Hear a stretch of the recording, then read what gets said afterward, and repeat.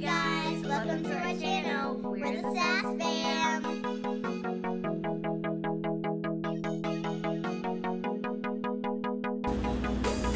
Alright, so here I am filling the temperature of the water. Want to make sure that it's just right, not too warm, not too cold. Next, I'm going to rinse Shyla's hair and then shampoo it. Our wash usually takes about five minutes. You gotta make sure you get that shampoo in really good, massage the scalp, stimulate those hair follicles. Now we're rinsing that bad boy out. Because I put so much shampoo in her hair, I only washed it once. We generally wash her hair after every swim lesson, which she has once a week. And now her hair's all wrapped up. Now we're gonna head over to the bathroom. Make sure her hair's good and dry. We're gonna put some conditioner in her hair. And then we're gonna brush it through.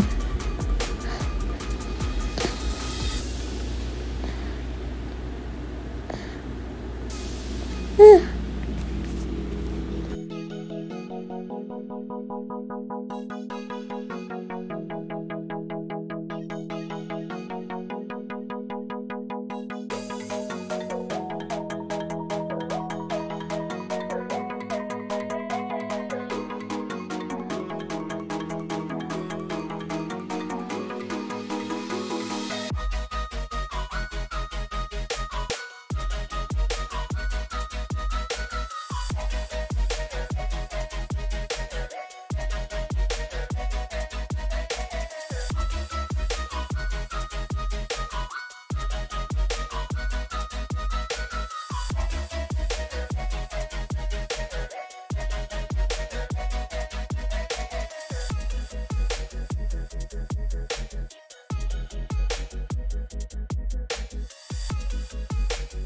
All right, so here you see me braiding Shyla's hair into a single braid. Generally, I like to leave the conditioner in her hair. We only condition her hair every two weeks. So this time we left it in for a couple hours.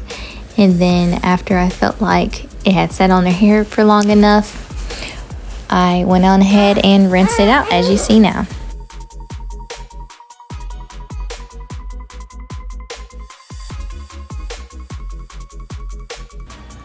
It's usually recommended that you rinse conditioner out the hair with cooler water so that it doesn't have the adverse effect.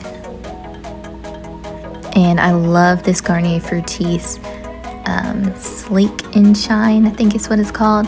It makes your hair so soft, and it doesn't matter if you have African American hair or mixed hair or Caucasian hair.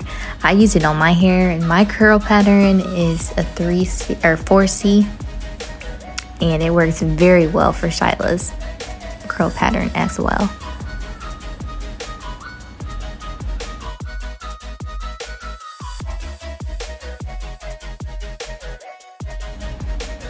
Alright, so we are back in the bathroom and I am brushing Shyla's hair out as you can see, her hair is nice and curly. She does have a few pieces in the front that are straighter than others. Uh, when she brushes her hair out herself, she primarily only brushes the front of her hair. So the back of her hair is always super curly and the front is like ridiculously straight. So we're trying to get her curl pattern to be even all the way through her hair. But it's taking a little time, but that's okay. We're working with it. So anyway, I am now finger combing in some leave-in conditioner and fluffing it out a little bit. And then I'm going to put some weightless oil in her hair.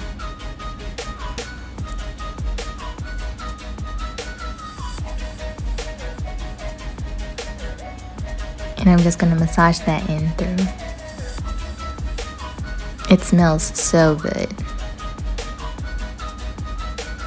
I'm not sure where you can find the weightless oil in store. I got it off of sambeauties.com and it was like um, a buy one get one free deal. So I stocked up on those. I love this brush so much. I love how it separates. That's baby here in the background. Sorry guys. But it's great for curly hair. For detangling purposes.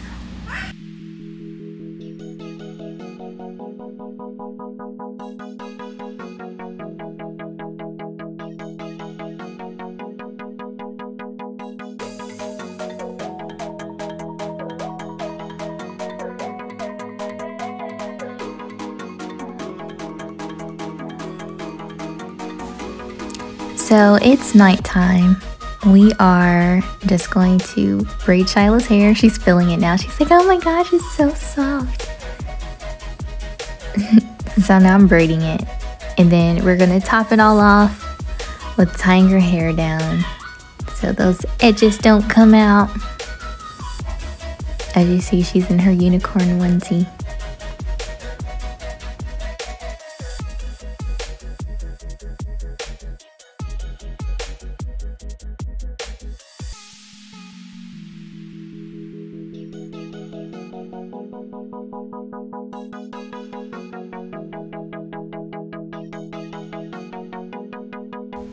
I'm always forgetting something, so of course, I forgot a hair tie.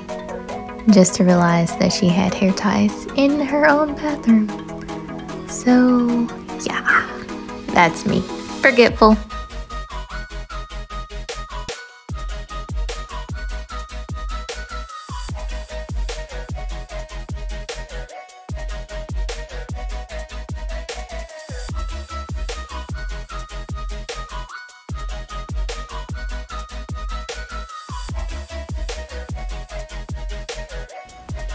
All right, so we're tying her hair down. It's so funny. I had this scarf when I was a little girl and it went to one of my son dresses and I've always kept the scarf. And I gave the dress away. But now Shyla uses it for bedtime. It's so cute. I hope you like my braid. That's a braid. Thank you for watching. Subscribe, comment down below, and give this video a big thumbs up. Make sure to turn that bell. Bye.